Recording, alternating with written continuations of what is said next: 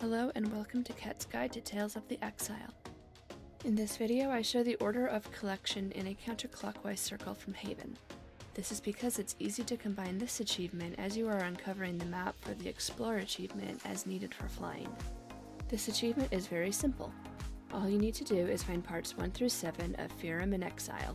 On the PTR the epilogue was not necessary, but that could have changed. I've included the location of the epilogue at the end of the video. If you do not see a Firim and Exile part, it's because someone else has just looted it and it has despawned. These parts have a respawn timer of about 10 minutes, and just like herbs, multiple people can tap it before they despawn. Once you collect all of the parts, the achievement will automatically pop up.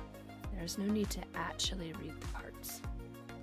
All of the parts are easy to get to, however parts 6 and 7 in the upper right corner of the map are in an area with a lot of elites.